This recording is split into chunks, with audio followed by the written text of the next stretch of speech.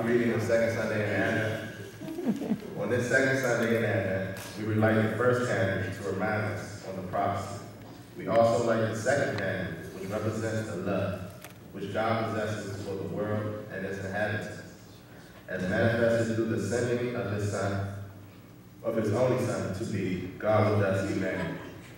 Love was and is the motive for the coming of Jesus then and now.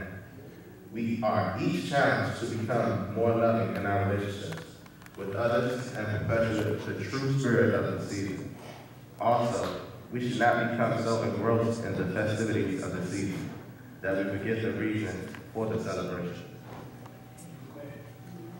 Amen.